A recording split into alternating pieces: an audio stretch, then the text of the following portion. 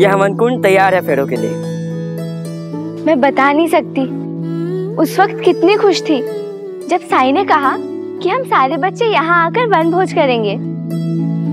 उसी के बाद ये योजना सूझी कि अपने गुड्डा गुड़िया की शादी के लिए इससे बेहतर कोई जगह हो ही नहीं सकती।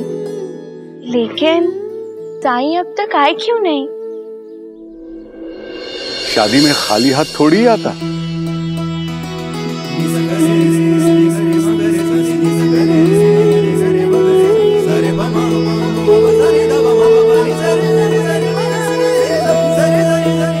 क्या तय किया है तुम लोगों ने? पहले गुड्डा गुड़िया की शादी फिर वन भोज अच्छा सा आप ये बताइए आप लड़की वालों की तरफ़ से हैं या लड़के वालों की? दोनों की तरफ़ से। मैं बारातियों का स्वागत भी करूँगा और डोली भी उठाऊँगा। हाँ साई तो हम सबके हैं। पहले दुल्हा दुल्हन से मिलवाओ तो मुझे।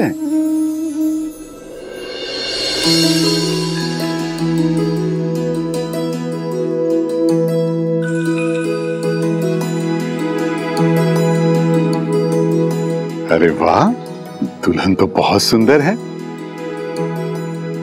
लेकिन ये सिर्फ़ सुंदर ही है या इसमें कुछ गुण भी हैं? गुण? ये तो हमने सोचा ही नहीं। तो आप सोचो।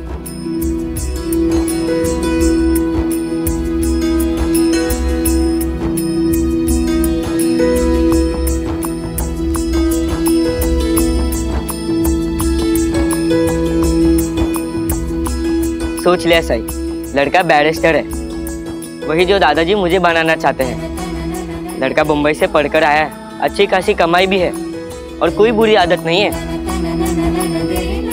और संस्कारी भी है। अच्छा? और लड़की? मतलब गुड़िया के गुण? आपने लड़कों से पूछा तब तक हमें सोचने का भी समय मिल गया। हमारी गुड़िया बहुत गुणी है। सुशील है। घर पे सारे काम करती है। सबका ख्याल रखती है। और पूरा घर अकेले संभालती है। और शिक्षा? कहाँ तक पढ़ी है ये? पाठशाला जाती थी।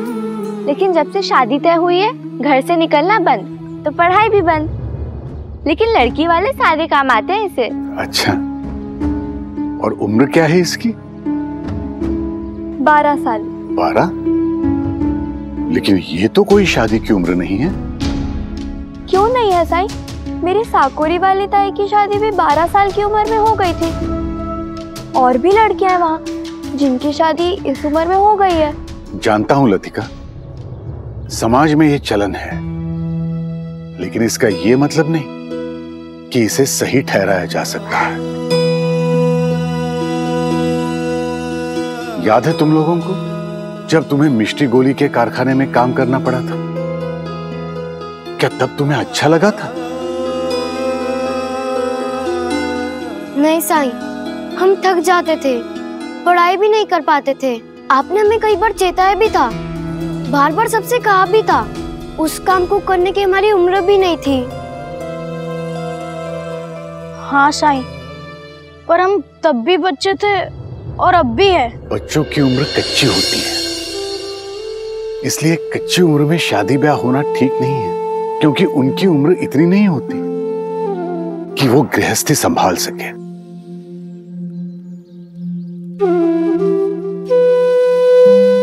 ये तो उम्र है पढ़ने लिखने की। गुड्डा तो बालिक है, इसलिए कोई दिक्कत नहीं है।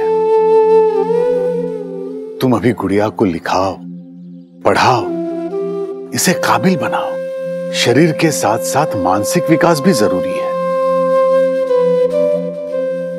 गुनी और सुशील तो ये है ही। बस एक बार हर लिहाज से सयानी हो जाए। एक से बढ़कर एक रिश्ते तब भी आएँगे।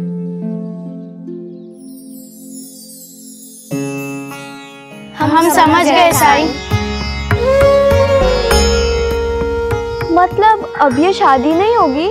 होगी लतिका लेकिन पहले वनभोज कर लेते हैं। जब तक वो हो जाता है तब तक तुम्हारी गुड़िया पढ़ लिख के सयानी बन जाएगी। खेल ही तो खेल रहे हैं हम। इसमें तो हम अपने नियम बना सकते हैं ना?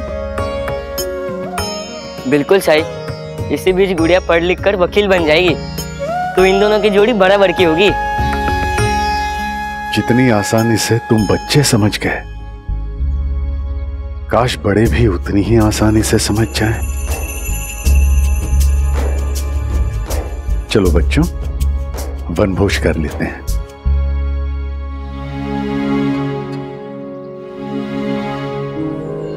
आज नहीं है पंख, मगर मैं किसी दिन उड़ पाऊँगी। बादलों के टापुओं पे उछल उछल के जाऊँगी। तेज हवाओं में बहकर मैं गीत ज़ोर से गाऊँगी। मेरे पर निकलने दो, मैं दूर गगन छू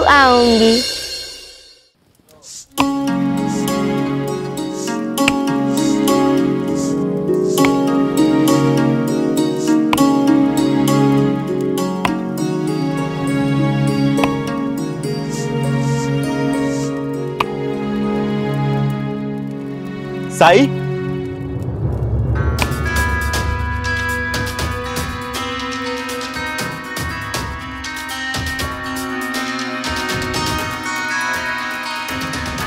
आप तो रमाकांत काका है ना?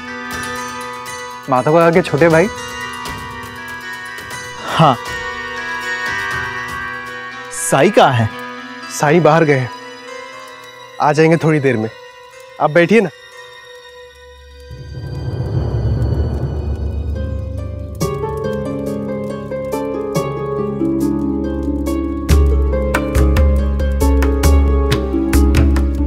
ठीक है। रुक जाता हूँ। आप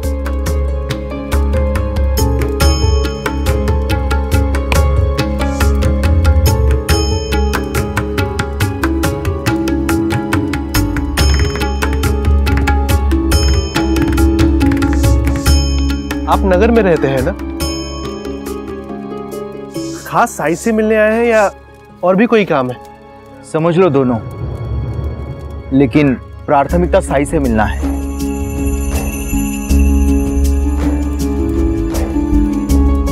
साई, कहाँ हैं आप? इन सारे खेतों के आगे दुनिया नापनी है मुझको। जो सोच से भी हो ऊँचा, ऐसा काम करना मुझको। किसी को भी हो कठिनाई, उसे मैं आसान कर जाऊँगी। मेरे पर निकलने दो, मैं दूर गगन छुआऊँगी।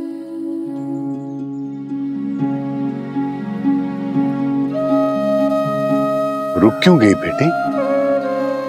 अपनी कविता पूरी करो।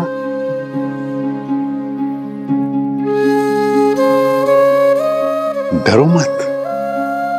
तुम्हारी कविता बहुत सुंदर है। हमें पूरी सुननी है। है ना बच्चों? हाँ सुनो ना। सबको मिलेगी जब शिक्षा तो शिक्षा का होगा सम्मान। देखा जाए तो पाने को दुनिया में है कितना ज्ञान। ज्ञान की बलबूते पर सपनों को सच मैं भी कर पाऊँगी। मेरे पर निकलने दो। मैं दूर गगन छुआऊँगी।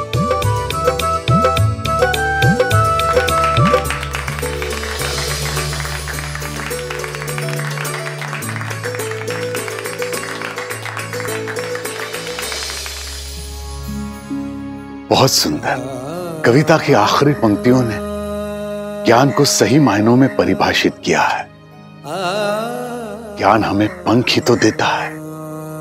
कहाँ से सीखी है कविता?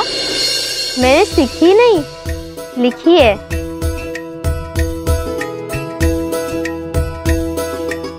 लेकिन जो भी बातें मैंने कविता में कही, वो मैंने अपने गुरु से सीखी है। कौन है तुम्हारी गुरु? सरोजिनी नायडू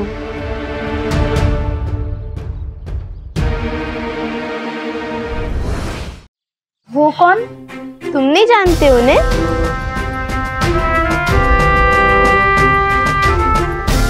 वो तो बहुत ही मशहूर है। कविता लिखती है समाज सेविका भी है, या भाषण देती है। उनसे ही कविता लिखने की और पढ़ने की प्रेरणा मिली है मुझे। मुझे उनकी तरह पढ़ लिख कर कविता लिखनी है और समाज सेविका बनना है। तुम कैसे अपने आप कविता बना लेती हो? जब हम प्रकृति से बात करते हैं तो प्रकृति भी हमसे बात करती है और फिर कविता अपने आप ही बन जाती है।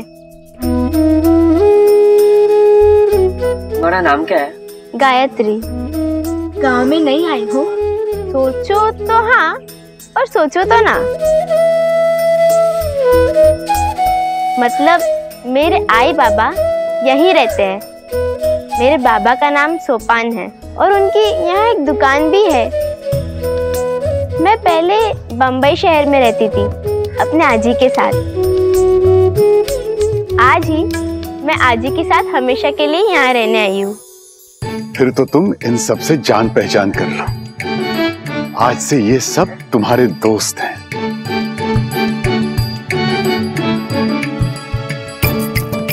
अच्छे मौके पे मिलियो। हम सब यहाँ वनभोज और गुड्डा गुडिया की शादी के लिए आए हैं। तुम भी शामिल हो जाओ ना। गायत्री ताई गायत्री ताई मैं यहाँ हूँ दामू। दामू ये तुम्हारी बहन है? हाँ। गायत्री ताई कहाँ थे तुम? अब चलो आई बुला रही हैं। वनभोज और गुड्डा गुड्डी की शादी के लिए मैं रुक नहीं पाऊँगी।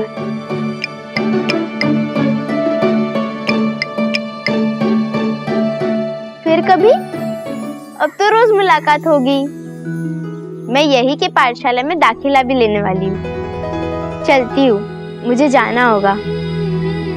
कोई बात नहीं बेटी, लेकिन एक वादा करो मुझसे। अपनी कविता की कला कभी नहीं छोड़ोगे चाहे जो कुछ हो जाए। जी।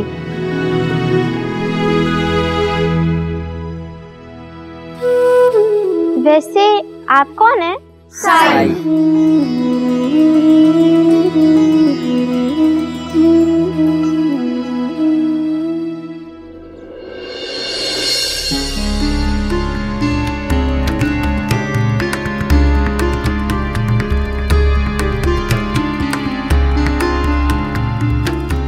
लोगों ने तो कहा था कि थोड़ी देर में आ जाएँगे साई। लेकिन अब तक नहीं आए। रोज अब तक तो आ जाते थे। पता नहीं आज क्या हुआ।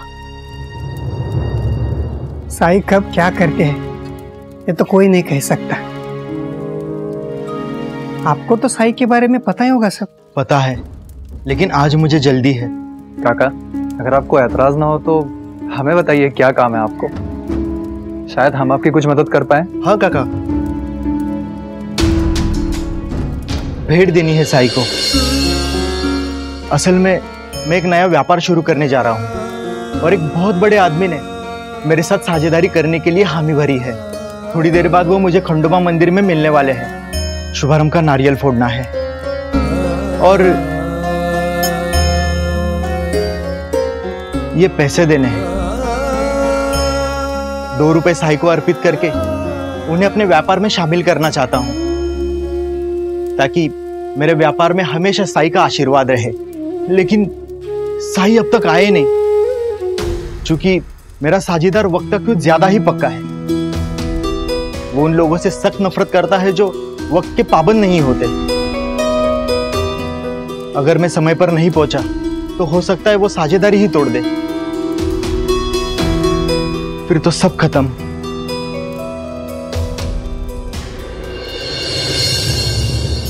बस इतनी सी बात। काका इस पूरे स्थान पर साईं की कृपा है। ये साईं के बैठने की जगह है। और इससे पवित्र जगह कौन सी हो सकती है?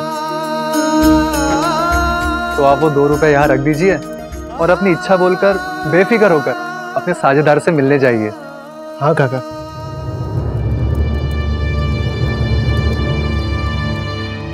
तुम कहते तो सही हो लेकिन प्रत्यक्ष देने में और रखने में फ़र्क है।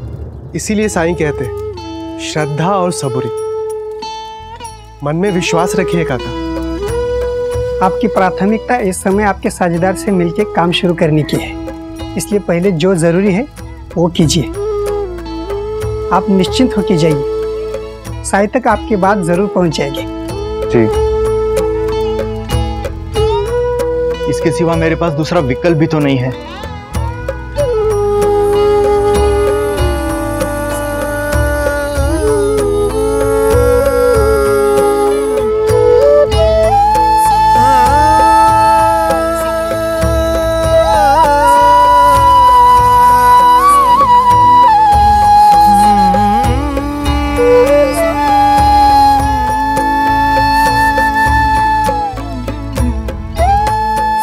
साई इस व्यापार में मुझे कामयाबी देना और भागीदार बनके मेरे साथ रहना।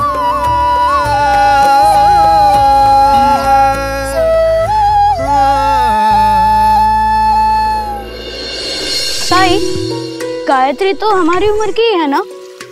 फिर भी वो इतनी सुंदर कविता कैसे लिख लेती है? राम जी हर किसी को अलग अलग हुनर देते हैं। गायत्री को ये हुनर दिया है मुझे तो भगवान जी ने कोई हुनर ही नहीं दिया। ऐसा नहीं है चेतन। हम सबके पास कोई ना कोई हुनर होता है। तुम्हारे पास भी एक हुनर है। तुम हर खेल में माहिर हो। ये छोटी बात नहीं है। बेला खाना बहुत स्वादिष्ट बनाती है। लतिका गणित में बहुत अच्छी है। और रागिणी गाती बहुत अच्छा है।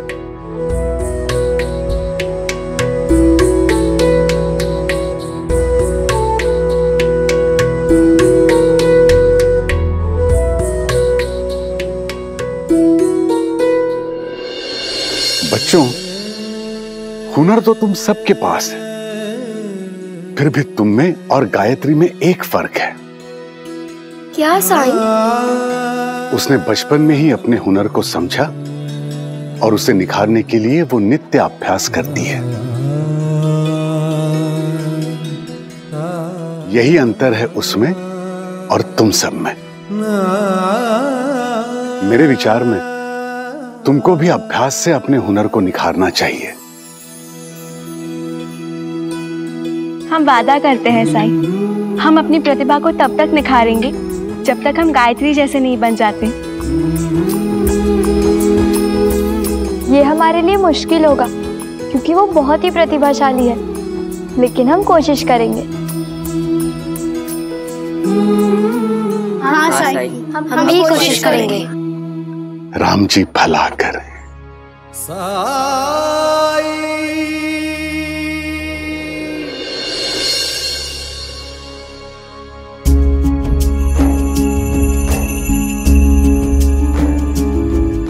बच्चों, तुम सब अपने अपने घर जाओ। मुझे कहीं जाना है।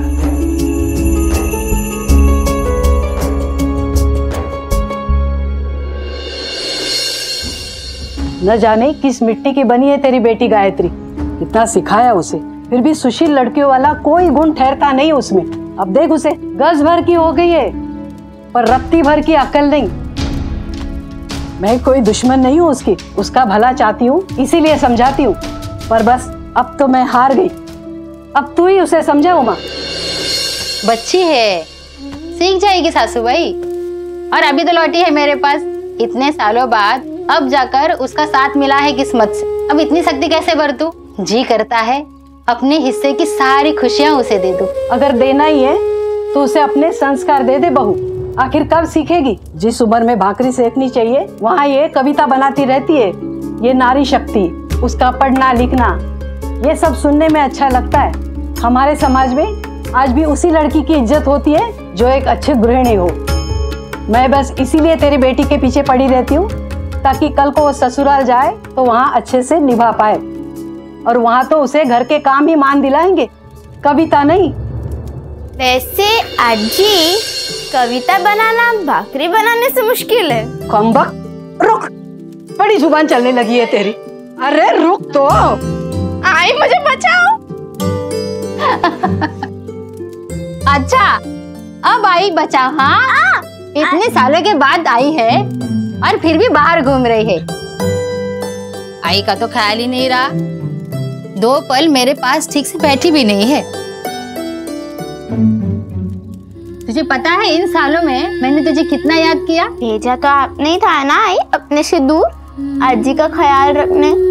और अब इतने सालों बाद आई हूँ तो क्या थोड़ी भी आज़ादी नहीं मिलेगी? ओ। और रही बात आपके साथ समय बिताने की तो अब तो मैं यही रहूँगी आपके साथ। अब थोड़ी ना मैं कहीं जाऊँगी आपके साथ खाऊँगी साथ सोऊँगी और अपनी कविताएँ भी सुनाऊँगी। यानी नाक में दम करके रखूँगी। और हाँ मुझे आपके हाथ का बेसन का पिठला वो भी तो खाना है। मेरा मन पसंद है ना? सिर्फ़ खाएगी या घर के काम में भी हाथ बटाओगी? कविता से पेट नहीं भरता। कल को तेरी शादी होगी और तेरे पति को जब भूख लगेगी तो क्या उसे कविता सुनाकर उस बेचारे का पेट भरोगी? हो अजी आप हमेशा यही बात लेकर बैठ जाती है। आपको तो कोई नहीं समझा सकता। और आई आपको पता है सरोजिनी जी ने क्या कहा? उसके बातें तू करना ही मत। जाने दीजिए ना सासू भाई सालों बाद बेटी घर लौटी है। अब उसे थोड़ी तो मनमानी करने दीजिए। लेकिन उमा ऐसे ही लाड करती रहोगी तो कब इसके जाने का समय आ जाएगा तुझे पता ही नहीं चलेगा। मैं कहीं नहीं जाऊँगी। अगर ऐसे ही तेरे नखरे रहे तो सारी ज़िंदगी यही पड़ी रहेगी। अगर घर की शोभा लड़की होती है तो लड़की की शोभा उसके गृहिणी होने से होती है। लेकिन अज्जी जवाब देना बंद कर और चुपचाप भाकरी बनाने बैठ। लेकिन आई बेटी अभी मेरी भाकरी बनाने में मदद कर देना। फिर पढ़ लेना हाँ? और सुन जितने जल्दी हाथ चलाएगी उतने ही जल्दी तुझे भाकरी के साथ बेसन का पिटला खाने को मिलेगा। ए देख।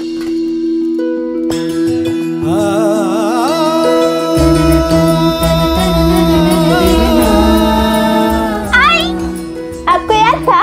हाँ आई कभी नहीं भूलती है। तुझे खाना है ना? तो चल जल्दी जल्दी मदद कर।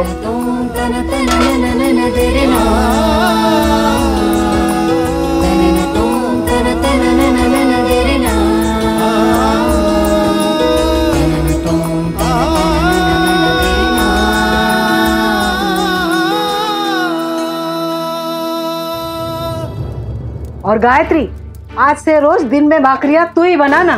दिन में? मैं दिन में कैसे कर पाऊँगी? कल से मैं पाठशाला जाऊँगी ना? क्या करेगी पाठशाला जाकर? बम्बई में जितना पढ़ लिया उतना काफ़ी है। अब से तू घर पर रहकर घर के कामकाज ही सीखेगी। वैसे भी लड़की की असली पाठशाला उसका मायका ही होता है। कोई ज़रूरत नहीं है विद्यालय जाने की। तू तो जानती है ना अपने अच्छे को।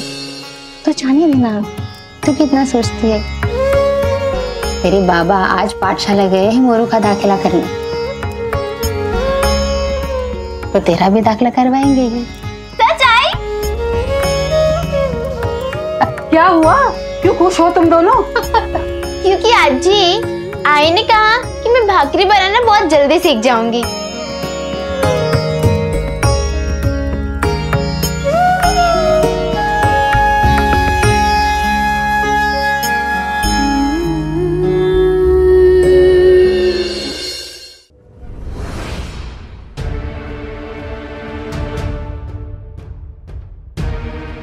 सही सुना है आपने। मेरी आई बम्बई से आई है और साथ में मेरी बेटी गायत्री भी आई है। लेकिन दाखिला मुझे सिर्फ़ मेरे छोटे बेटे, मोरू का करवाना है। गायत्री का नहीं। मैंने तय किया है कि दामू और मोरू पढ़ाई करेंगे। और गायत्री के लिए मैंने कुछ और, इससे भी बेहतर सोच रखा है। सुपान? जरा हम भी तो सुने कि गायत्री के लिए तुमने ऐसा क्या सोच रखा है जो उसका दाखिला नहीं करा रहे हो। कहा ना साईं, मैंने उसके लिए कुछ सोच रखा है, जो उसके लिए सबसे अच्छा भी है, सही भी है, और इसमें उसकी खुशी भी है। इसलिए तो उसे बंबई से यहाँ बुलाया है। ऐसा नहीं है कि अपने आजी के साथ वो खुश नहीं थी, लेकिन एक पिता का मन कभी भरता है क्या साईं? अब मुझे अपनी लाडली को और ज़्यादा खुशियाँ देनी है। वो मुझे पता है कैसे। सुनकर अच्छा लगा सोपान। कि तुम्हारा मकसद सिर्फ़ गायत्री की खुशी है। लेकिन तुम्हारी बच्ची की खुशी किसमें है? वो क्या चाहती है? ये भी तो एक बार सोच लो। मैं अभी अभी तुम्हारी बेटी से मिलके आ रहा हूँ। सच में बहुत ही होनहार है वो। वो पढ़ना लिखना चाहती है। आगे बढ़ना चाहती है। उसे पढ़ने तो शिक्षा से ही उसकी आंतरिक और बाहरी प्रतिभा में निखार आएगा।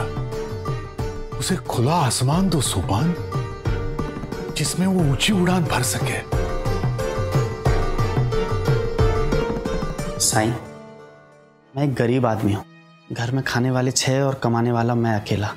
गुजारा भी जैसे तैसे होता है। इसमें गायत्री की शिक्षा का खर्च।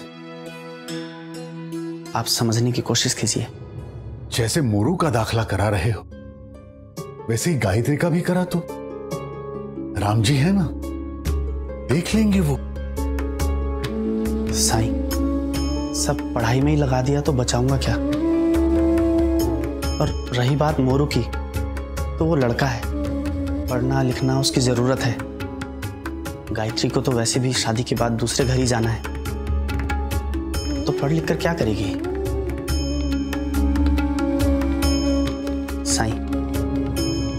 माफ़ कीजिएगा, मैं आपकी इज़्ज़त करता हूँ। आपने मेरा घर बचाया है। लेकिन घर चलाना तो मुझे ही है ना? इसलिए मुझे मेरे परिवार के फैसले खुद लेने दीजिए। ज़रूर सुपान फैसला तो तुम्हारा ही होगा। मैं बस इतनी सलाह दूँगा कि एक पिता होने के नाते तुम्हें अपनी बेटी को पंख देने हैं। पिंजरा नहीं।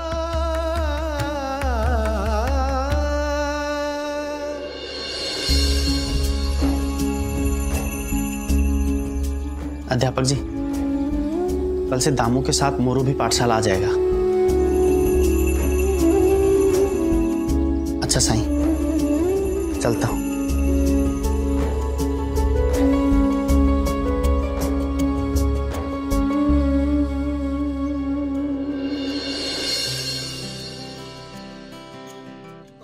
श्रीकांत, यहाँ का काम हो जाए तो मुझे द्वारका में आकर मिल लेना। कुछ ज़रूरी काम है। अभी फुर्सत नहीं हो साईं अभी बता सकते हैं आप? नहीं। अभी नहीं। फ़िलहाल मेरा कहीं और जाना ज़रूरी है।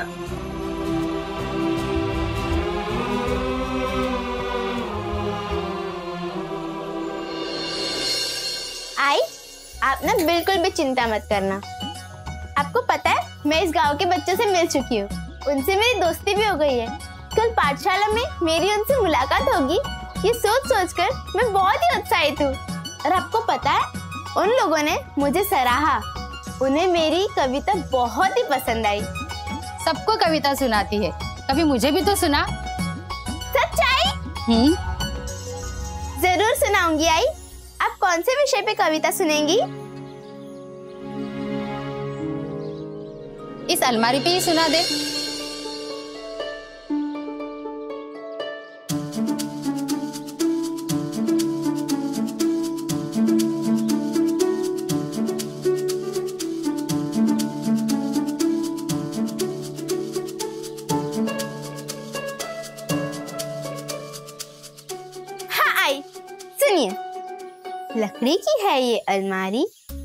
इसमें दुनिया सारी, बीते हुए कल की यादें और आने वाले कल के सपने।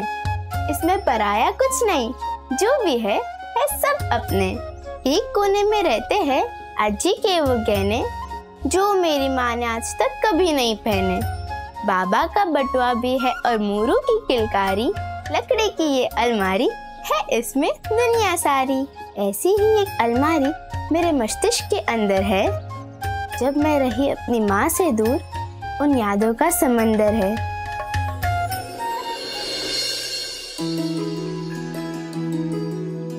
वाह बेटी तेरी कविता तो बहुत सुंदर है बहुत बढ़िया लिखती है तू।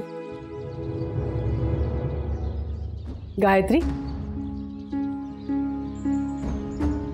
बाहर जा और नीम के पत्ते लिया। गला खराब है मेरा काढ़ा बनाऊँगी मैं। ठीक है अजी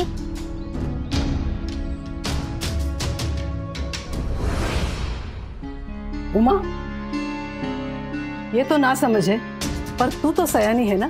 तुझे तो पता है ना कि एक औरत की किन किन गुणों से कदर होती है? फिर क्यों तू उसे बढ़ावा दे रही है? अगर तू उसकी कविता की सराहना करेगी तो ये घर के काम छोड़कर उसी में रमी रहेगी। लेकिन सासू बाई कविता लिखना कोई बुरी बात तो नहीं है। क्या ये अच्छा नहीं है कि गायत्री में एक अतिरिक्त खूबी है, अतिरिक्त गुण है? लेकिन उमा, अगर तेरी बेटी घर के उन कामों में भी उतनी अच्छी होती ना तो मुझे कोई परेशानी नहीं होती। लेकिन इस लड़की का सारा ध्यान पढ़ाई और कविता लिखने में ही लगा रहता है। छोटी सी खोली थी हमारी बम्बई में। उसमें भी झाड़ू लगाने में आधा प्रहर लगाती थी ये। मुझे तो इसकी चिंता में नींद नहीं आती है। ये तो मायका है। तू और मैं यहाँ इसे संभाल लेंगे। लेकिन कल अगर ससुराल में सर पर पल्लू रखकर, सर झुकाकर मुँह सिलकर काम करना पड़े तो क्या ये निभा पाएगी? ज़िंदगी भर इसे ससुराल वालों के ताने ना सुनने पड़े। इसे अपने घर में सम्मान मिले। इसीलिए तो मैं ये कर रही हूँ सब।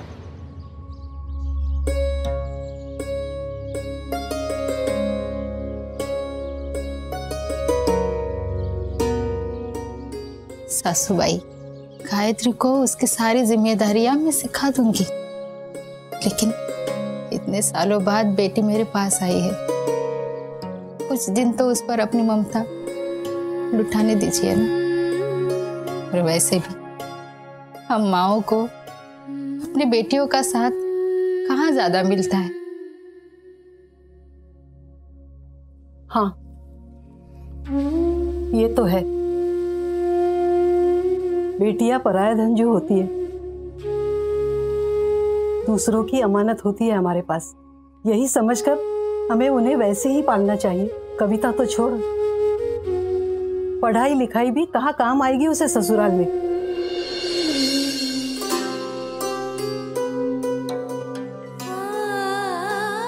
बोलना आसान है। पराया धन होती है बेटियाँ। मेरी पहली संतान है गायत्री। मुझे पहली बार माँ कहने वाली। माँ का सुख देने वाली। वो पराई क्यों होगी? जब शादी होगी, तब होगी। जब तक मेरे पास है, मैं तो उसे हमेशा खुश देखना चाहूँगी।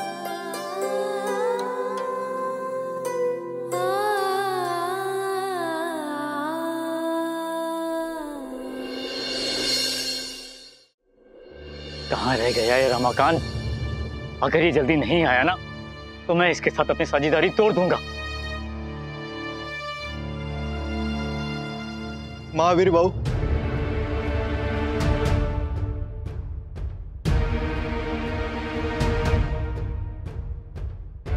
ये कोई वक्त है आने का?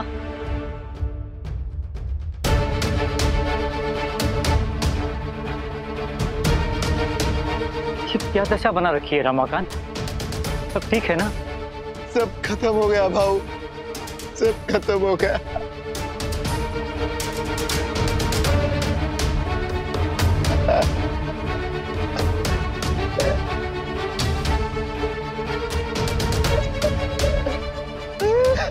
पर हुआ क्या है? बताओगे?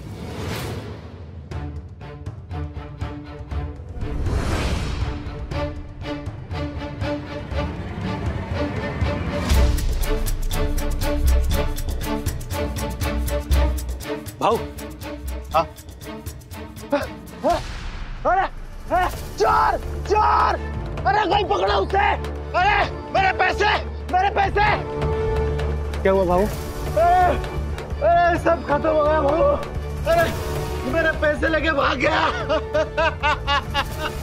सब खत्म हो गया। कुछ नहीं बचा। मेरे पैसे।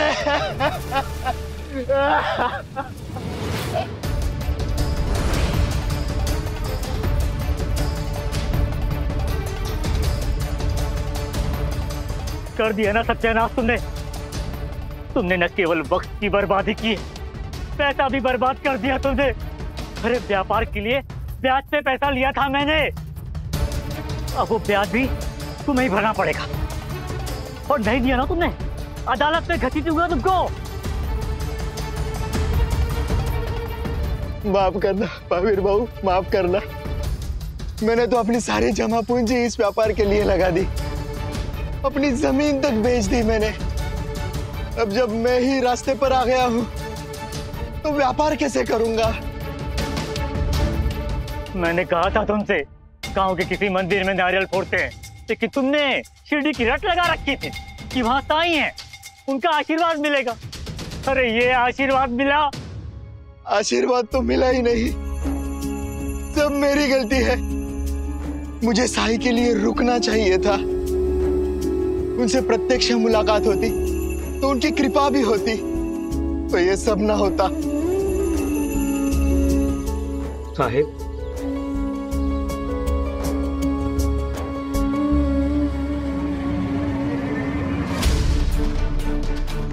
ये ये तो वही चोर है। मेरे पैसे दे। दे मेरे पैसे दे।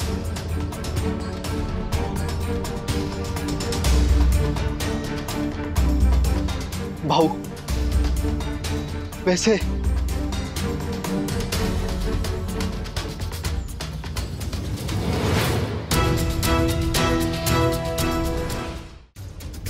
इसमें तो मिट्टी है। मिट्टी फिर पैसे कहाँ गए? कहाँ गए मेरे पैसे? बता मेरे पैसे कहाँ गए? बता। मुझे माफ़ कर दो साहब। आप जो भी सजा देंगे मैं भुगत लूँगा। माफ़ी बाद में मांग। पहले मेरे पैसे लौटा। कहाँ से लौटाऊं पैसे? आपके पैसे तो मिट्टी में बदल गए। भाऊ ये झूठ बोल रहा है। मैं सच कह रहा हूँ साहब मेरा यकीन कीजिए। मैं आपके पैसे लेकर भाग रहा था, तभी आपके साझेदार वहाँ आ गए। झूठ। मैं कब मिला तुमसे? आप नहीं, वो दूसरे वाले।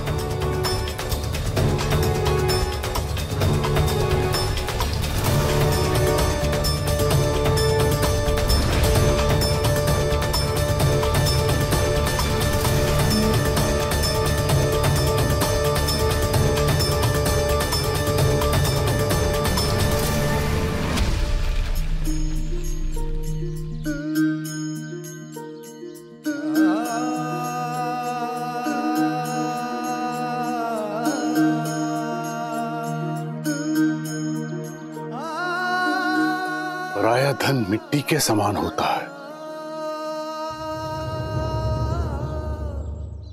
ए फकीर हट रास्ते से। तू कौन होता है मुझे उपदेश देने वाला? मैं उस इंसान का साझेदार हूँ जिसकी थैली छीन कर तुम भागे हो। तो जा उसका आँसू पोछ। ये थैली तो मेरी हुई। चल हट। जाने से पहले एक बार उस थैली को खोल कर देखो तो सही।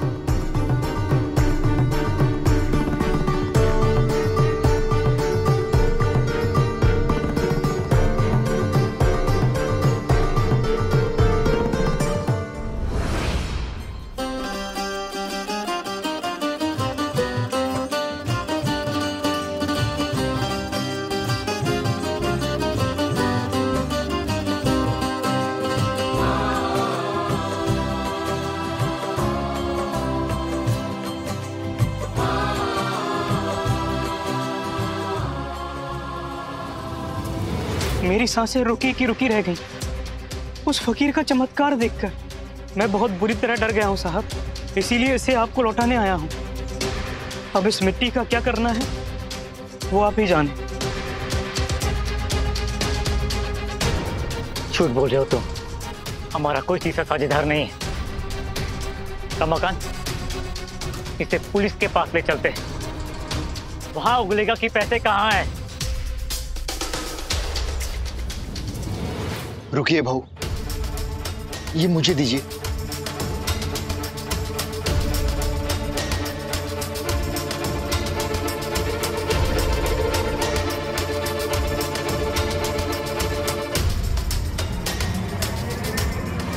मेरे पैसे।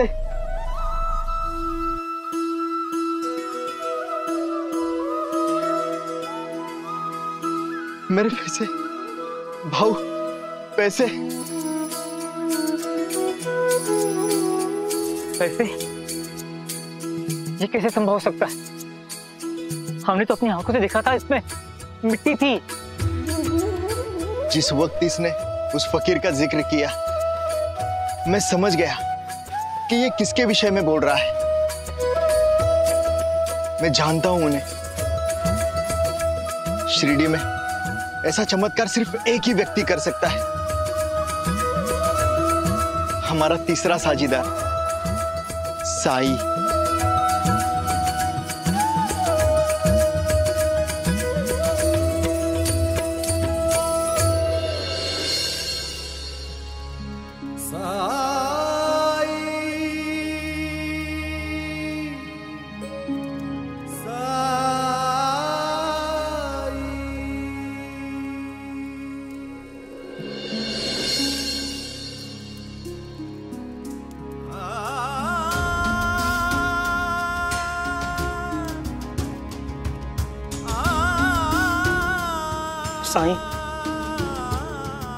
मुझे माफ़ कर दीजिए।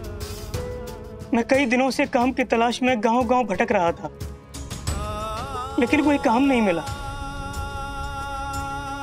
हालत इतनी खराब हो गई थी कि भूख से बेचैनी होने लगी और उस बेचैनी ने मुझे अंधा कर दिया था।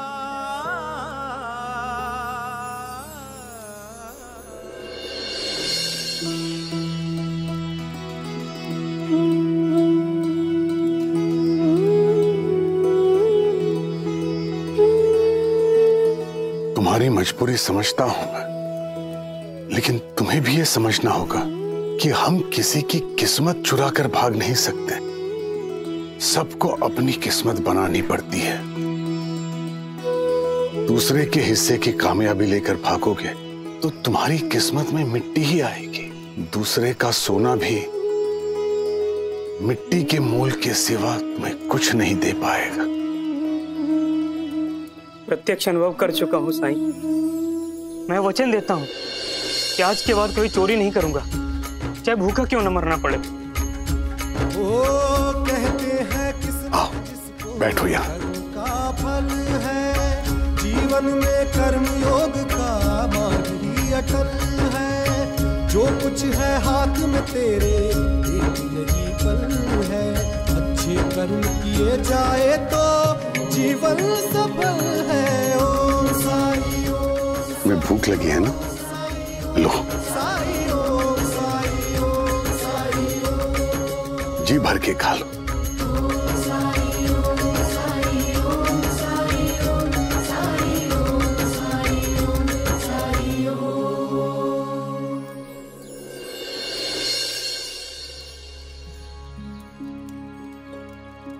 एक सीख तुम्हें भी सीखनी होगी, महावीर।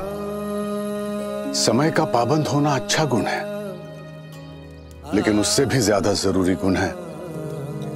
मानवता दूसरों की मजबूरी समझना, दूसरों के दुखों में उनके आँसू पहुँचना तुम तो व्यापारी हो। अगर अपने साझेदार से, अपने कर्मचारियों से, अपने ग्राहकों से इतनी अशिष्टता से पेश आओगे तो तुम कभी उनकी निष्ठा और वफादारी अर्जित नहीं कर पाओगे। लेकिन अगर उनके दुख परेशानियाँ और श्रद्धा को सम्मान दोगे तो वो पूरी ईमानदारी से तुम्हारे व्यापार को और सफल बनाएँगे। मुझे माफ़ कर दीजिए साईं। तुमसे भी मैं अपने व्यवहार के लिए माफ़ी माँगता हूँ। अब मैं अपना आचरण अवश्य ठीक करूँगा। साई एक सीख मैंने भी सीखी है। किसी को अपना गुरु या ईश्वर मानो तो हमेशा उसे अपने मन की आँखों से देखो। तब हम उन्हें हमेशा अपने साथ पाएँगे। जैसा तात्या ने कहा था।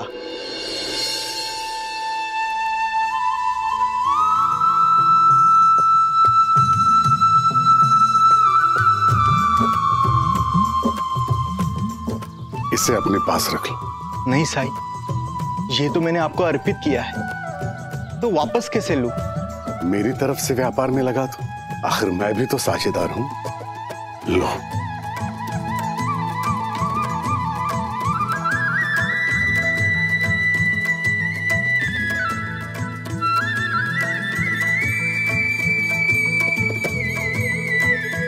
महावीर भाऊ इस आपादापी में नारियल फोड़ने का मुहूर्त तो बीत गया। अब? अब तो हमें सही संगति की प्राप्ति हुई। साईं का साथ मिला है। शुभ मुहूर्त तो अब शुरू हुआ है। अब हम नारियल यहीं द्वारका माई में फोड़ेंगे। और यही नहीं।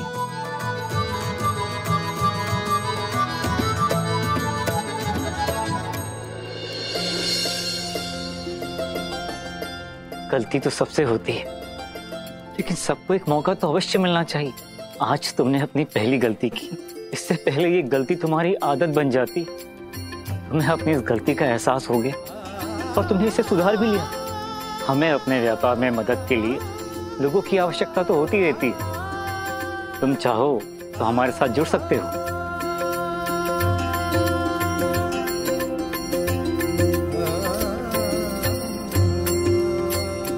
शुक्रिया। मैं आपका विश्वास कभी टूटने नहीं दूँगा।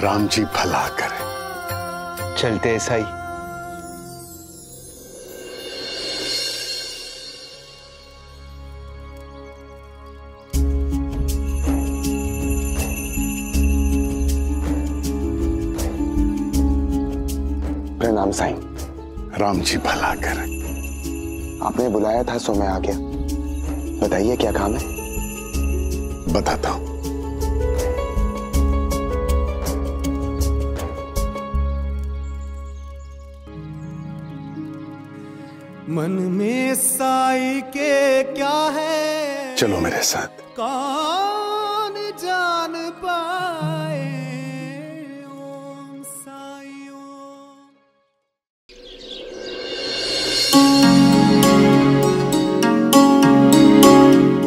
बाबा किताबें? ये मैं रख देती हूँ। आप हाथ में धो लीजिए मैं खाना लगा देती हूँ।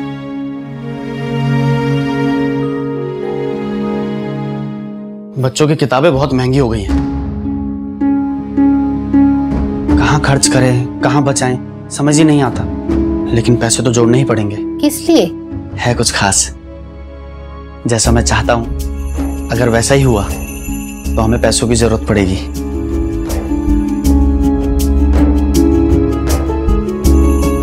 बाबा इसमें तो मेरी किताबें है ही नहीं। ये तो सिर्फ़ दामू और मोरू की है। हाँ उन्हीं की है। तुम्हें किताबों की क्या ज़रूरत? है तुम्हारा दाखिला तो मैंने करवाया ही नहीं है।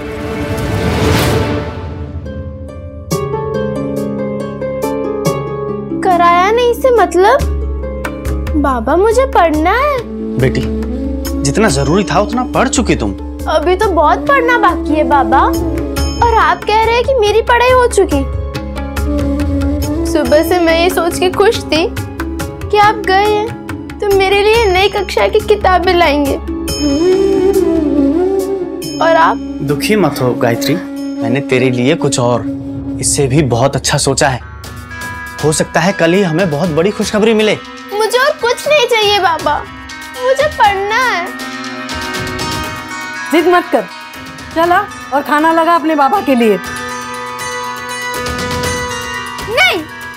गायत्री! गायत्री! आहो कुछ हो नहीं सकता क्या? गायत्री का बड़ा मन है पढ़ने का। तुम तो जानती हो इतने पैसे नहीं है हमारे पास कि तीनों को पढ़ा सके। और फिर करेगी क्या वो पढ़कर? कलेक्टर थोड़ी ना बनना है उसे।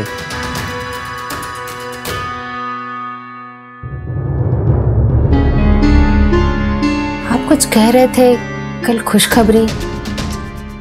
ऐसा क्या होगा कल? अभी नहीं बता सकता। तुम्हें झूठी उम्मीद नहीं देना चाहता अभी। बस इतना समझ लो कि कल बहुत बड़ा दिन है हमारे लिए। बस सब ठीक से हो जाए। तुम गायत्री की चिंता मत करो। मैं उसे अभी मना कर लाता हूँ। तुम उसकी थाली लगाओ।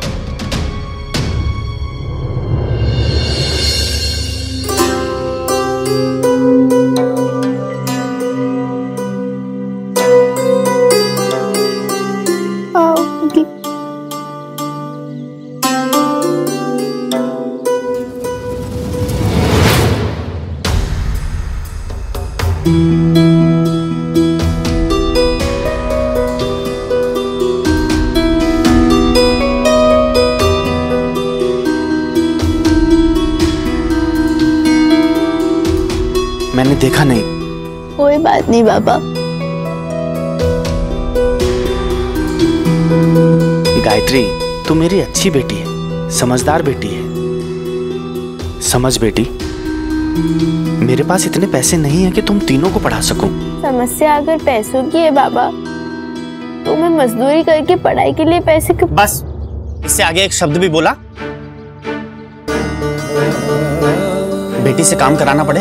इतने बुरे दिन नहीं आए अभी। तो फिर मुझे पढ़ाइए ना बाबा। कहा ना तेरी पढ़ाई हो चुकी है?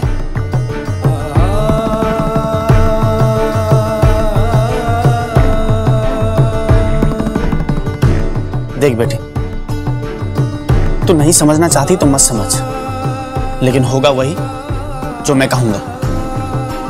खुद को भूखा रख के तू मेरे मन को बदल नहीं पाएगी।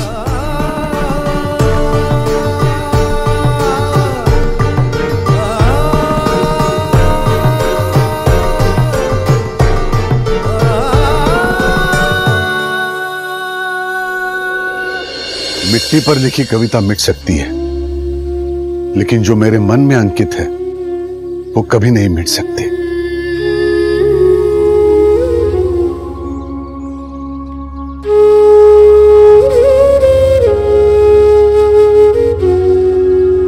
आज नहीं है पंख मगर, मैं किसी दिन उड़ पाऊँगी, बादलों के टापुओं पे उछल उछल कर जाऊँगी।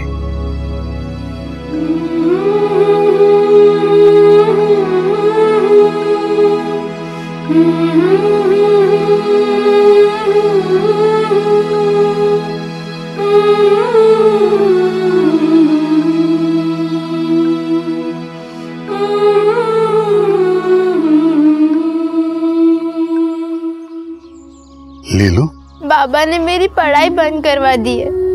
तो मुझे भूख कैसे लग सकती है साई? बस इतनी सी बात। तुम्हारी पढ़ाई मैं शुरू कराऊँगा बेटे। फिर तो खाओगी ना? लेकिन आप मेरी पढ़ाई शुरू कैसे करवाएँगे साई? श्रीकांत?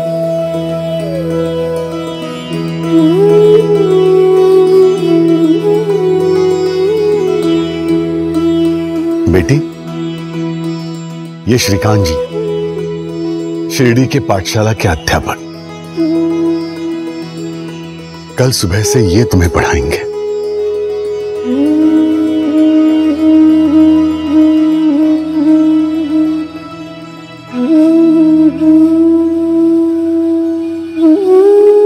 लेकिन बाबा नहीं मानेंगे। तुम उसकी चिंता मत करो बेटी। कल सुबह मैं आऊँगा तुम्हें पाठशाला ले जाने के लिए। तभी तुम्हारे बाबा को भी मना लूँगा।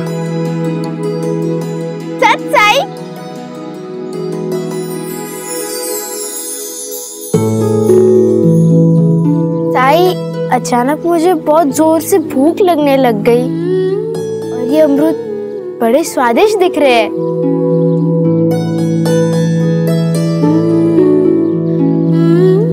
शुक्रिया साई। अब तुम घर जाओ।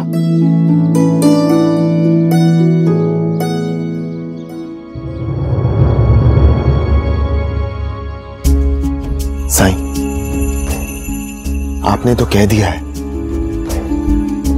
लेकिन सुपान को समझाना मुश्किल है। क्या वो मानेगा?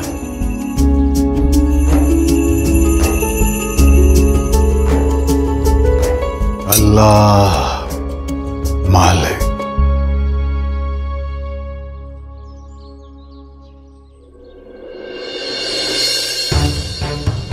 पता है आई जो बात मैंने अभी तक किसी को नहीं बताई वो क्या थी?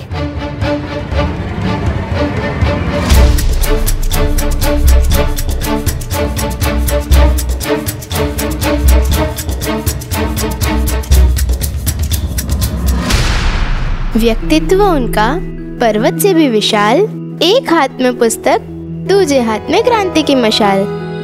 लेखनी उनकी खदक सी वानी कोयल सी दिन दिन की है वो ढाल। अरे वाह बेटी ये तो बहुत ही महान महिला है। लेकिन तूने इन्हें अपना गुरु कैसे बनाया? कहाँ मिली तू इन्हें? बम्बई में हमारी खोली के सामने एक मैदान है। वहाँ मैंने उन्हें पहली बार बोलते हुए सुना।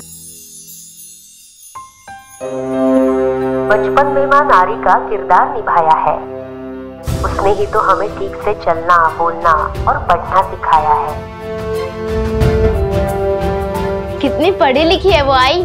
कविता लिखती है लेखिका है समाज सेविका है। उन्होंने देश के लिए अपनी ज़िंदगी लगा दी आई। आई उन्हीं की जैसे बनना है मुझे। तेरा फैसला बिल्कुल सही है बेटा। बस तू कल ही जा और बात करके आ। मैं प्रार्थना करूँगी कि सब कुशल मंगल हो। लेकिन आई गायत्री बहुत जिद्दी है। क्या आपको लगता है कि वो मानेगी? अगर उन लोगों के सामने उसने कुछ ऐसा वैसा कह दिया तो? बेटा मैं किस दिन के लिए हूँ? बस कल सब सही हो जाए। गायत्री को हम मनाएँगे सिखाएँगे। फिर देखना। दो दिन में ही इसके पढ़ने लिखने का भूत सर से उतर जाएगा। भगवान, कल सब ठीक कर देना।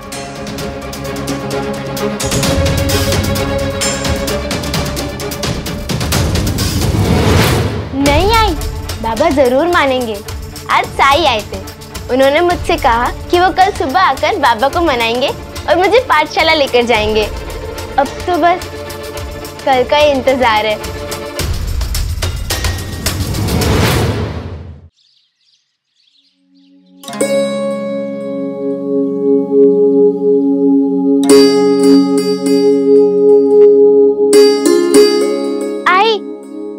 साई कब आएँगे?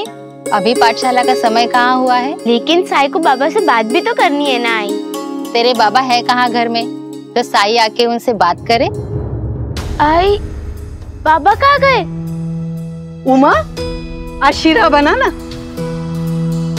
शीरा? आज कोई खास बात है क्या? ये तो सोपानी आकर बताएगा। बस इतना समझ ले गायत्री के लिए बड़ी खबर है। बड़ी खबर? मेरे लिए?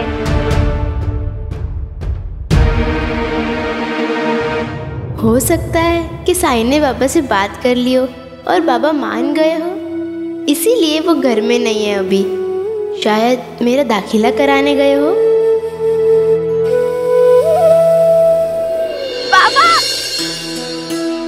आप कितने अच्छे हैं। आपने मुझे बहुत ही खुश कर दिया।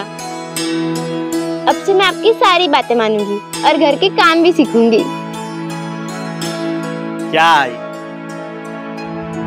आपने इसे बता दिया कि मैंने इसकी शादी तय कर दी।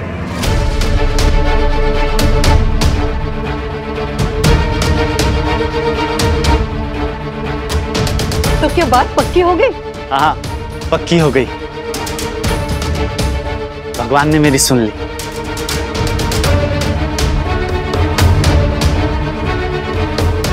भगवान तेरा लाख लाख शुक्रिया।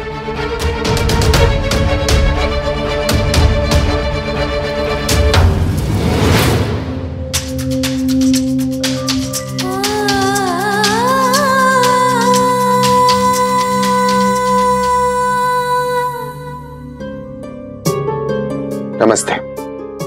आप? मैं श्रीकांत शिरडी की पाठशाला का अध्यापक हूँ।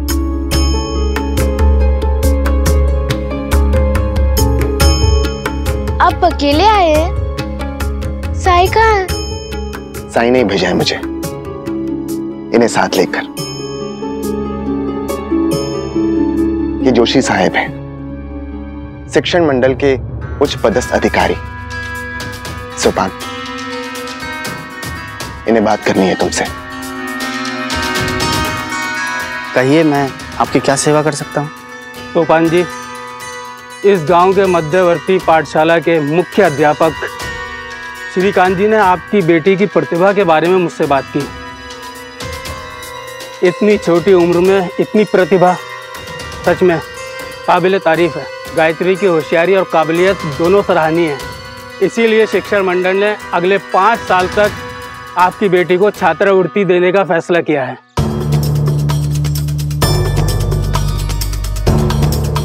यानी अगले पाँच साल तक आपकी बेटी की पढ़ाई पर आपको एक पैसा भी खर्च नहीं करना पड़ेगा। और यदि इन पाँच सालों में आपकी बेटी अच्छे परिणाम देती है और उसके बाद भी वो आगे पढ़ाई जारी रखना चाहती है तो उसके लिए भी हम आपको आर्थिक मदद देंगे।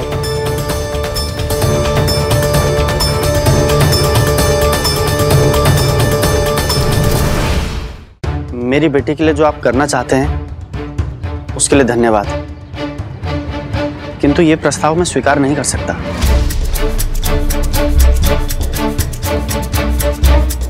क्योंकि आज ही मैंने अपनी बेटी की शादी तय की। इसलिए अब वो पढ़ नहीं पाएगी।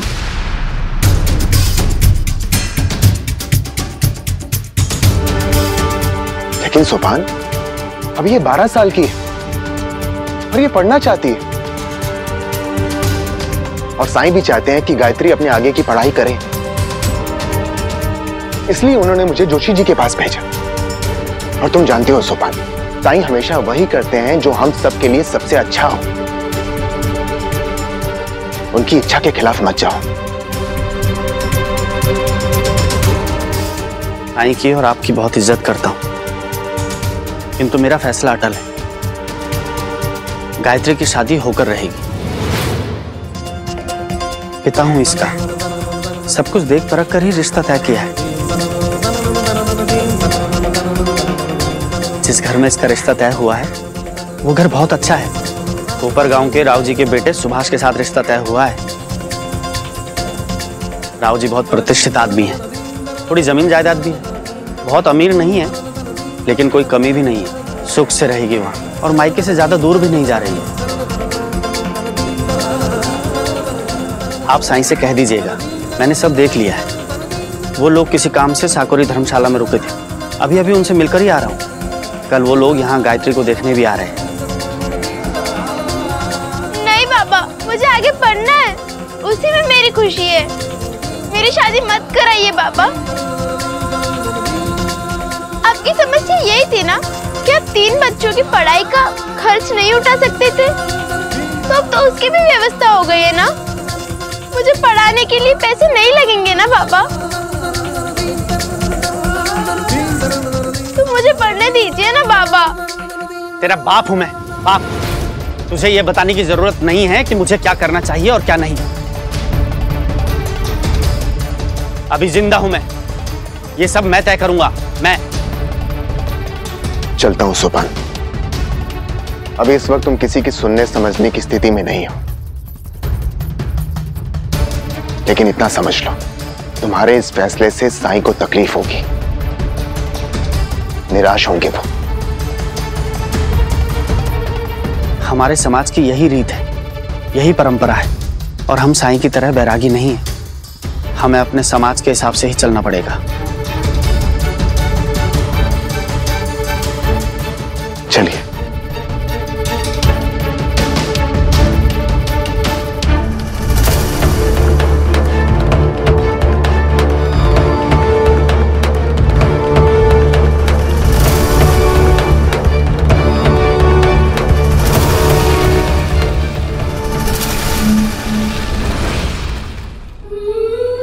भाई पर एतबार था मुझे कि वो मेरे पापा को समझाने आएँगे। लेकिन नहीं आए वो। दामू तो कहता था कि साई सबकी मदद करते। फिर मेरी मदद क्यों नहीं की उन्होंने?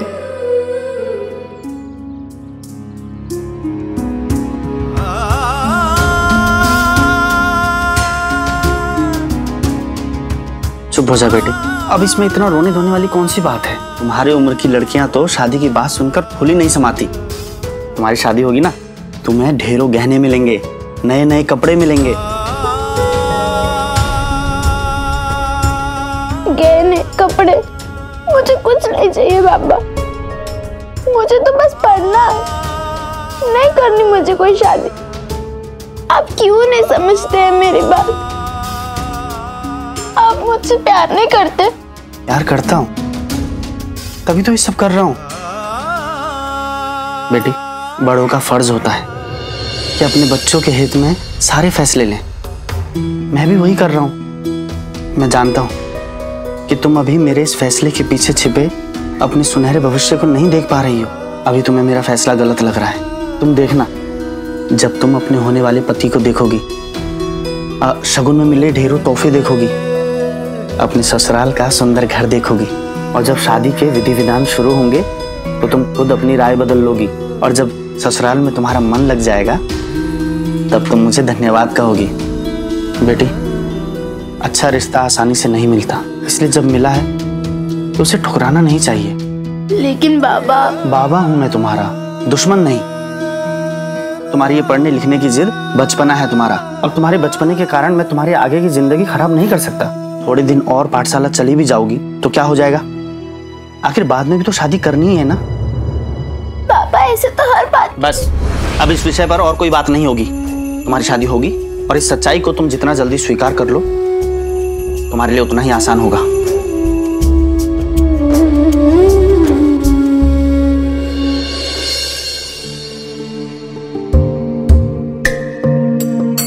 उमा समझाओ उसे।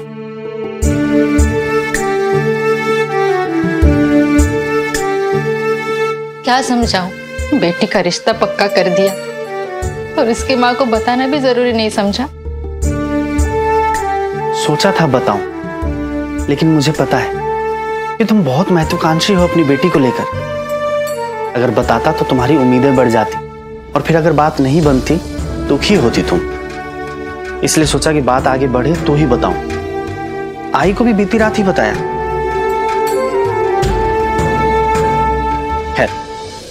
छोड़ो इन सब बातों को। ध्यान से सुनो।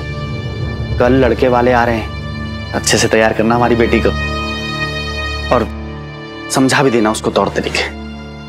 लेकिन इतनी भी क्या जल्दी है? अभी अभी तो बेटी आई है हमारे पास। देखा? तड़प उठी ना माँ की ममता। बेटी के विछोह की कल्पना भर से ही माँ सिहर उठी। ऐसा नहीं है कि पिता निर्मोही होता है। लेकिन बेटी के बाप को अपनी पीड़ा छुपाकर होठों पे मुस्कान लिए अपना फ़र्ज़ निभाना पड़ता है। जमाने का यही दस्तूर है। उसे ही आगे बढ़ा रहा हूँ। तुम माँ हो ना? इसलिए भूल गई। याद करो, जब तुम्हारी शादी हुई थी तो तुम भी गायत्री की उम्र जितनी ही थी तो तुम्हारे साथ क्या बुरा हुआ? सब अच्छा ही हुआ ना? गायत्री के साथ भी सब अच्छा ही होगा। अब अंदर जाओ और समझाओ उसे। मुझे बाज़ार जाके कल की तैयारी करनी है।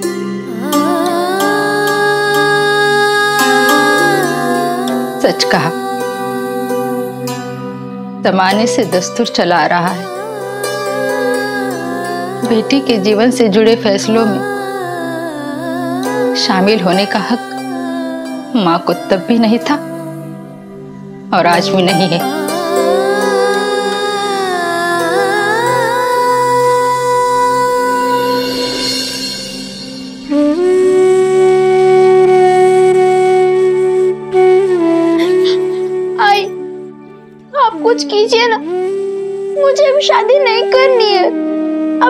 कैसे भी करके इस शादी को रोक दीजिए आई।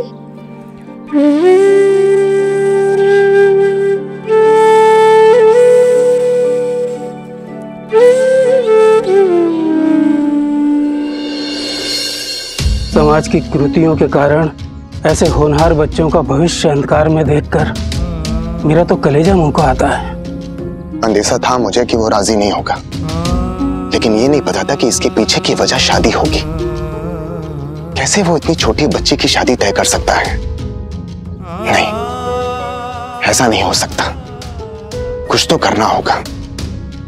इस अनोनी को होने से रोकना होगा। तूफ़ान का रवैया देखकर मुझे तो नहीं लगता कि वो मानेगा। लेकिन मुझे पूरा यकीन है कि साईं कोई ना कोई हल ज़रूर निकालेंगे। चलकर पूरी बात साईं को बताते हैं। आइए।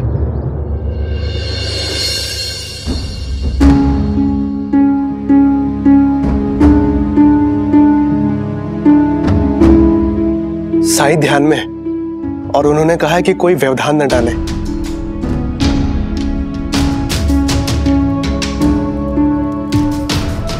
अब तो चाहकर भी साईं को कुछ नहीं बता सकते। अगर इनके कानों में बात चली जाती तो ये शीघ्र ही कोई उपाय बताते। हैं एक यही है जो कुछ कर सकते हैं।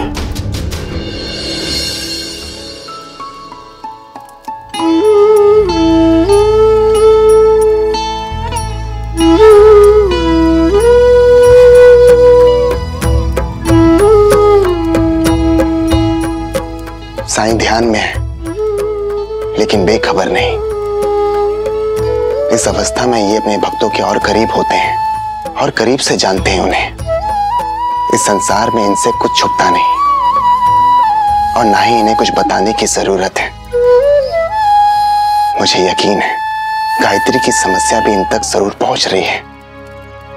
आई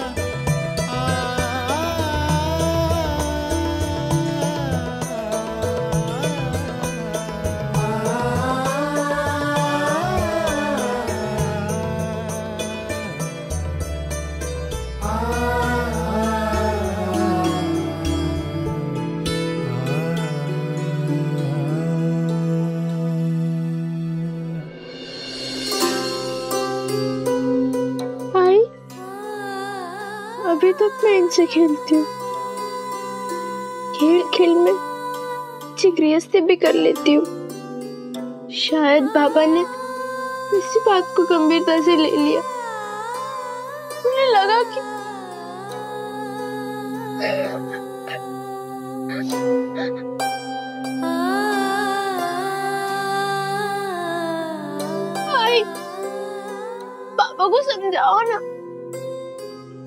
बड़े बर्तन मेरे हाथ में ठीक से आते तक नहीं है। पानी से भरा हुआ मटका लेकर मैं चार कदम भी नहीं चल पाती आई मैं गृहस्थी का बोझ कैसे उठा पाऊँगी?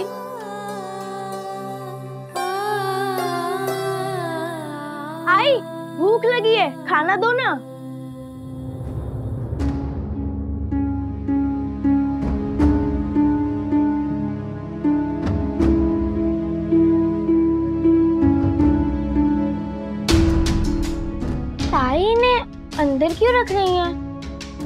ताई की शादी तय हो गई है ना?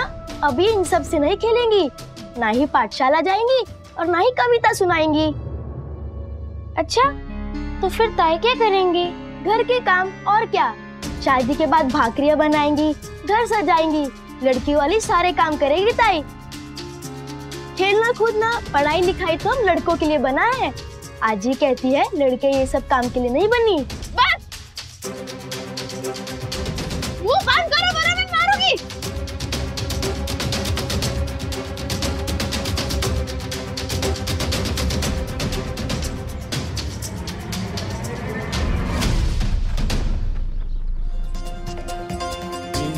नालायक लड़की? अब तो सुधर जा अपने गुस्से पे काबू करना सीख ले। अब शादी होनी है तेरी अपने दिमाग को शांत रखना सीख ले। वरना ससुराल में हमारी नाक कटवाएगी।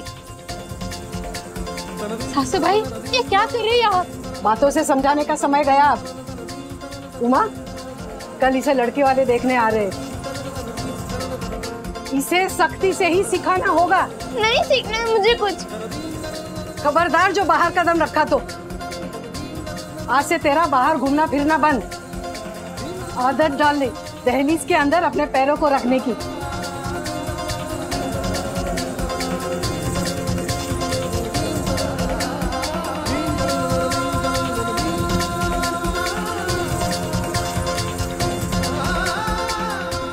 रहने दे।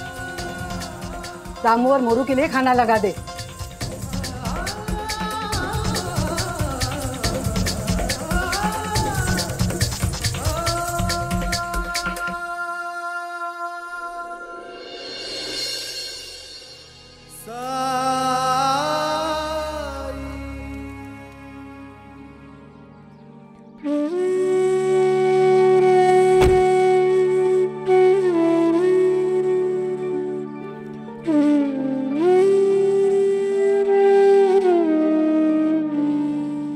सासू भाई वो तब से रो रही है।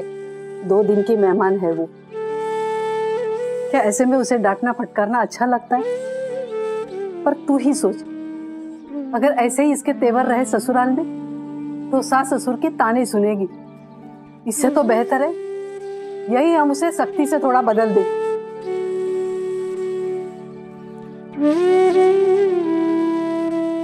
पर सासू भाई शादी तो खुशी का मौका होना चाहिए ना सबके लिए। अगर जिसकी शादी है, वही इतनी दुखी हो, इतनी रोती रहे तो समझाने के लिए इतनी सख्ती बरतनी पड़े तो क्या ये सही है? क्या करे बहू? उम्र के जिस पड़ाव में अभी वो है, उसमें बच्चों को कुछ भी समझाना बहुत मुश्किल होता है। गायत्री को जब देखती हूँ तो ऐसा लगता है आईने में मैं अपने आप को देख रही हूँ। इतनी होशियार और मोहफट नहीं थी मैं, लेकिन जब पहली बार अपनी शादी के बारे में सुना तो अपना घर छोड़ने की कल्पना से ही हिल गई थी मैं। मेरे घर वालों को मनाने की बहुत कोशिश की, पर कुछ नहीं हुआ। तब मुझे एहसास हुआ कि हम औरतों के पीछे कोई खड़ा नहीं होगा। जो होना है हो के रहेगा।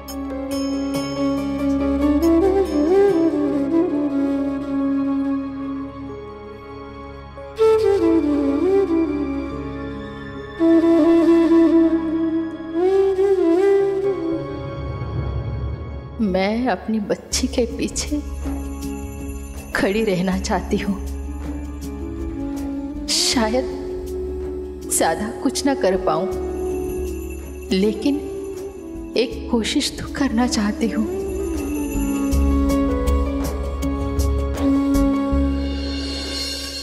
गुलाब जामुन खा कर मज़ा आ गया था। पंता जी वो देखिए।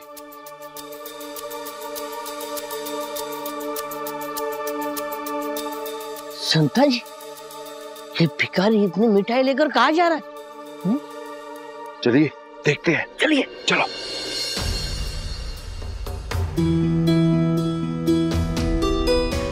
विवाह अरे सोपान। विवाह मेरी बेटी की शादी तय हो रही है। सबसे पहले न्योता तुम्हें देने आया लेकिन सबसे पहले न्योता तो साई को देना चाहिए ना सोपान। पता नहीं विवाह साई मेरे न्योते को स्वीकार करेंगे भी या नहीं? ऐसा क्यों कह रहे हो तुम?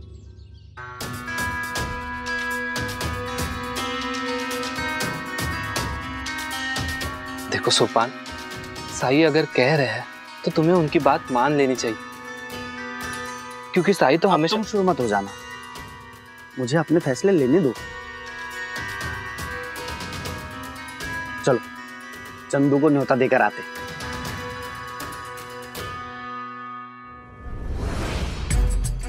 पंता जी बेटी सुपान की वो उसे पढ़ाए या उसे ब्याए? इस फकीर को उससे क्या? पता नहीं ये फकीर हर किसी के मामले में टांग क्यों अड़ाता है। बिल्कुल अपने सरकार की तरह। एक बात बताइए पत्ता जी ये खबर सरकार को बताने लायक है?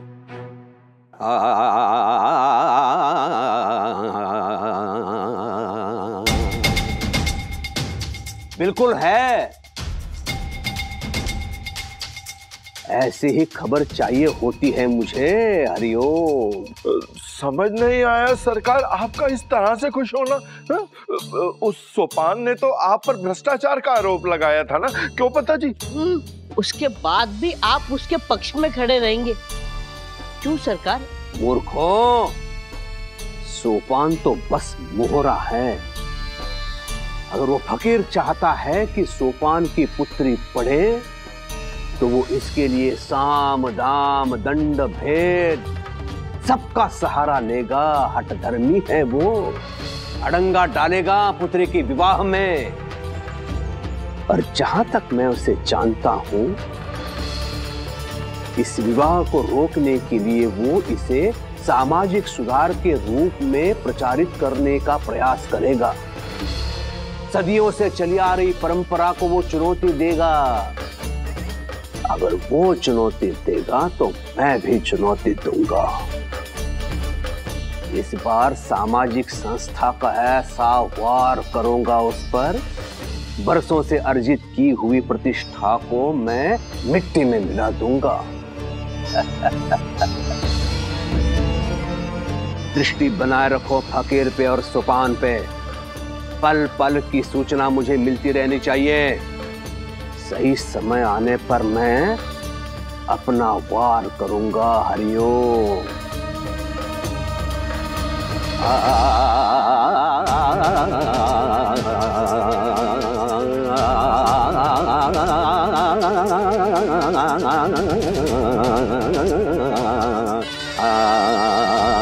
गरिम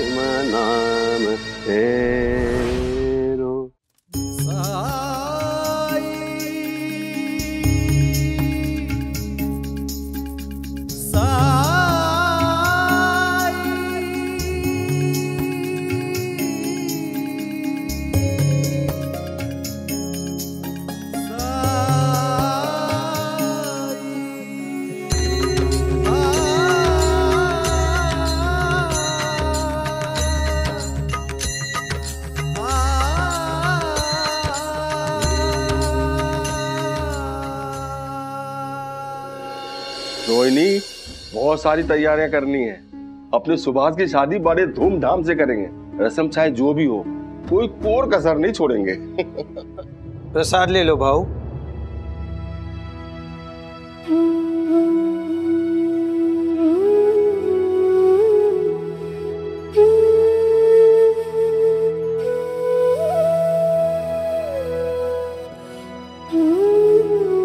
प्रसाद?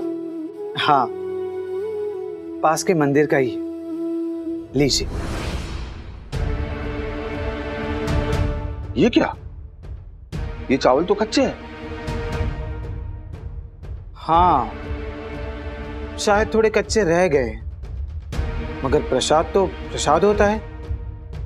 खा लीजिए। कच्चे चावल सेहत बिगाड़ देते हैं। भले ही प्रसाद जैसी शुभ चीज़ क्यों ना आप कच्चा खाना किसी को कैसे खिला सकते हैं? किसी की सेहत के साथ खिलवाड़ कैसे कर सकते हैं आप? कमाल है। मैंने आपको सिर्फ़ कच्चे चावल दिए तो आपने मुझे इतना सुना दिया। और आप? कच्ची उम्र में बच्चों की शादी करने निकले उसका क्या? इन कच्चे चावलों को खाने से ज़्यादा से ज़्यादा कुछ दिन दिक्कत हो मगर कच्ची उम्र की शादी बच्चों का भविष्य उजाड़ सकती है। आप चावल के बारे में इतना सोच रहे हैं। अपने बच्चों के बारे में थोड़ा सा सोच लीजिए ना। ये क्या बदतमीजी है? आप होते कौन है? हमें नसीहत देने वाले? समझ लीजिए मैं बच्चों का मन हूँ, जो आपसे विनती कर रहा है कि हमारी बात सुन लीजिए। पिता होने के नाते हमारी ज़िंदगी के सारे निर्णय आप ही लेते हैं और हमें उससे कोई आपत्ति नहीं। क्योंकि आपका हक है वो।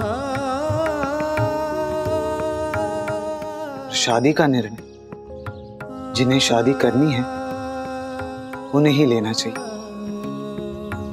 क्योंकि शादी ज़िंदगी में बस एक ही बार होती है। इंसान की ज़िंदगी का सबसे बड़ा और सबसे अहम फैसला है ये। इसी फैसले से हमारा भविष्य तय होगा। हमें उस उम्र तक तो पहुँचने दीजिए। जहाँ भविष्य तय करने में हमारी भी भागीदारी हो। क्या बकवास है ये? निकलो यहाँ से। निकलो। जाता हूँ पर जाते जाते एक बार फिर कहूँगा मेरी नहीं तो अपने बच्चों के मन की सुनिए।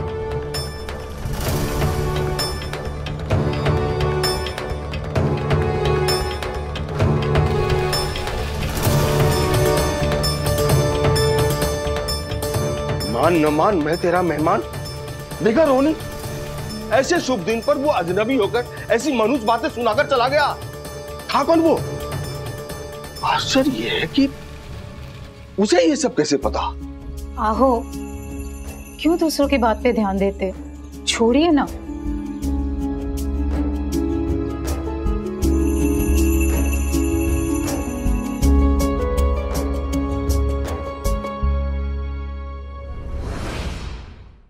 सुनता कौन है? बच्चों की कहते हैं सब बच्ची हो लेकिन जब बच्ची हूँ मैं, बच्चों का विवाह फिर कैसे हो? जो अपने को कहते हैं सयाने, उनको आए वो ये समझाने, बच्चे बने कल का भविष्य उनका विकास कुछ ऐसे हो।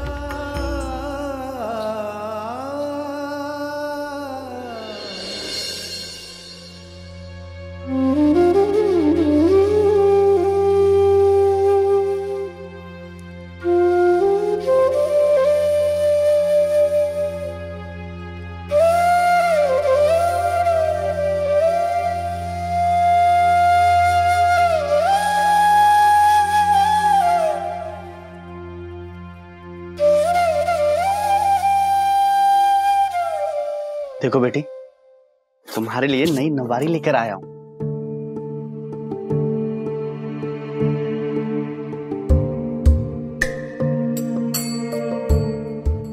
एक बार देख तो ले साड़ी को। कब तक यूँ ही उदास रहेगी? मैं खुश कैसे हो सकती हूँ, बाबा? और आप खुश कैसे हो सकते हैं? कुछ समय पहले तक मुझे जरा सी भी खरोच आती थी। आप सहम जाते थे। अब ऐसा क्या बदल गया बाबा, जो आपको मेरी तकलीफ़ दिखाई नहीं दे रही? या फिर आप देखना ही नहीं चाहते?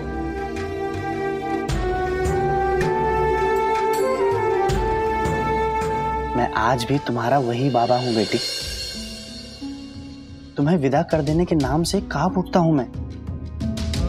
लेकिन एक माता पिता ही अपने बच्चे को खुद से अलग करने का साहस कर सकते हैं। क्योंकि वो जानते हैं, ऐसा करना ही उनकी संतान की भविष्य के लिए अच्छा होगा। मुझे पता है, तुम्हारे लिए भी यही अच्छा है, क्योंकि मैं तुम्हारे भविष्य की वो ज़िंदगी देख रहा हूँ, जो तुम नहीं देख रहे। आज भले ही मैं तुम्हारे दोष का धनी बनूं, लेकिन कल इसी चीज़ के लिए तुम मुझे दुआ दोगी। अब सो जाओ बेटे। कल तुम्हें जल्दी उठना है।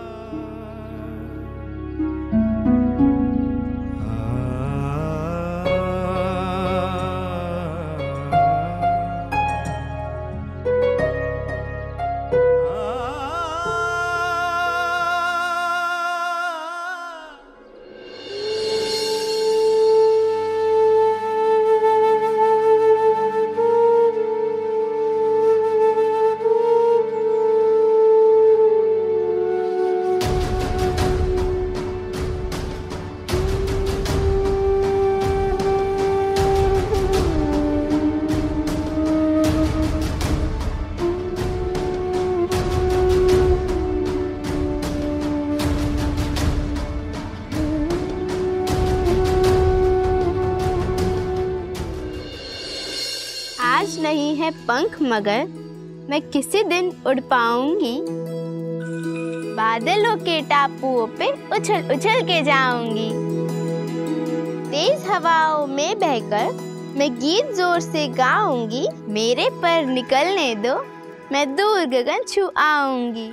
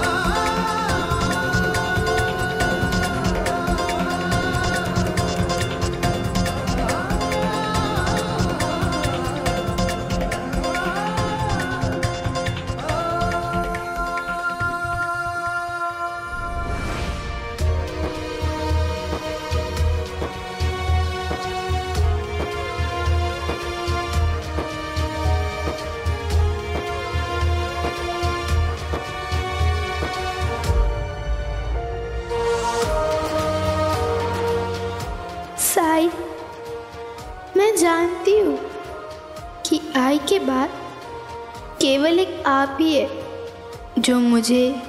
मेरी इच्छा को समझते हैं। मेरी आई कमज़ोर है।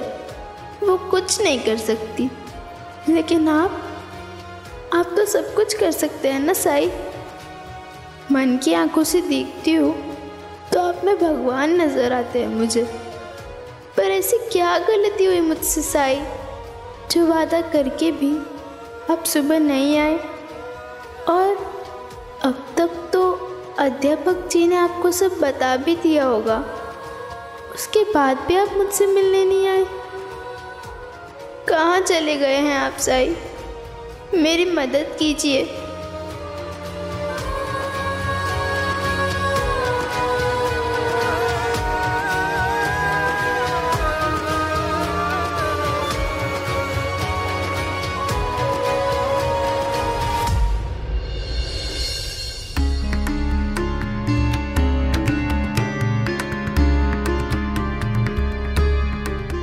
जल्दी कर उमा। सोपान लड़के वालों को लेकर आता ही होगा।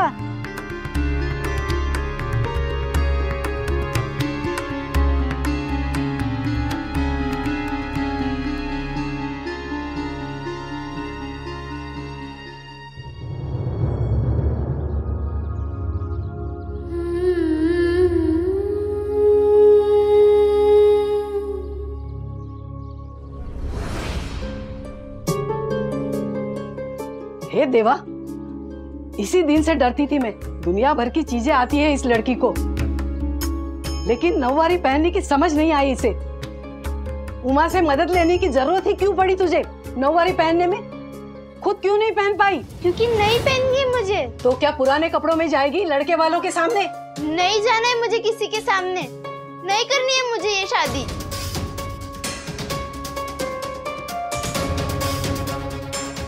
बस लड़की। बहुत देर से तेरी ये नखरे बर्दाश्त कर रही हूँ। लेकिन अब और एक शब्द भी बोला तो मार खाएगी। तुझे क्या लगता है, हम सब बेवकूफ़ है ना? जो समाज के रीति और परंपराओं के हिसाब से चलते आए तू एक बात गांठ बाँध ले। तू सरोजिनी नायडू नहीं है, जो समाज के रिवाज को बदल दे। तू एक छोटे से गाँव की, छोटे से परिवार की छोटी सी लड़की है। कोई चमत्कार नहीं होगा तेरे साथ। कोई मदद नहीं करेगा। हम जैसी औरतें नियमों का पालन करती है। नियम बनाती नहीं। कभी कुछ नहीं बदलता हमारे लिए। इसीलिए बारह साल की उम्र में जो मेरे साथ हुआ, तेरे आई के साथ हुआ, तेरे साथ भी वही होगा। यही हम जैसी औरतों की किस्मत है।